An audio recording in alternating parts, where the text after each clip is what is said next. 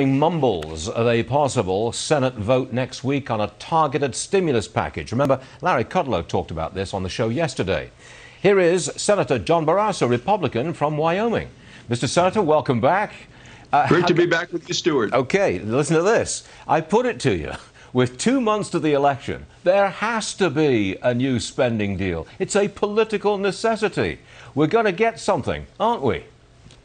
Well, first, Stuart, we are seeing the great American comeback happening right now. And the goal of the Republicans in the Senate is to next week move to the floor with a bill that's focused on specifically three things, and that is getting people back to work, getting kids back to school, and getting the disease behind us in the rearview mirror. But I will make a prediction right now.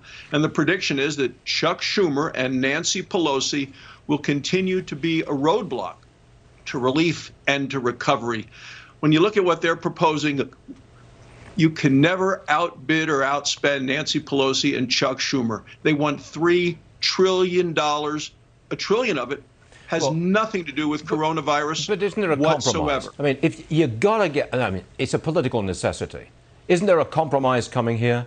Republicans are well, okay with a trillion. Long... Speaker Pelosi wants three trillion. You're going to have to compromise somewhere in the in the middle, aren't you?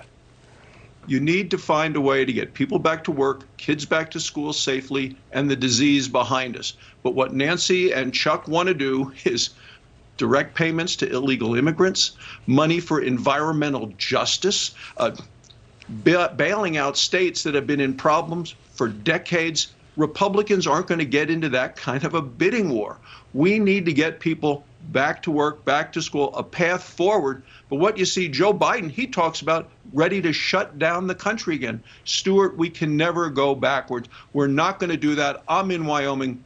People are back to work. Their help wanted signs up.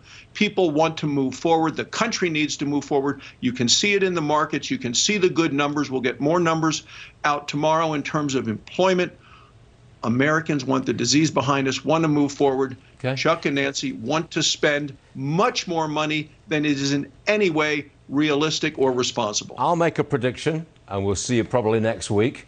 There will be a compromise. We will be spending some money, and you'll get together with the Democrats somehow or other to come up with maybe a trillion and a half. I'll leave it at that, Mr. Senator. Uh, I may be completely wrong, and you're probably going to say, yeah, Varney, you're wrong again, but we'll talk about it next week.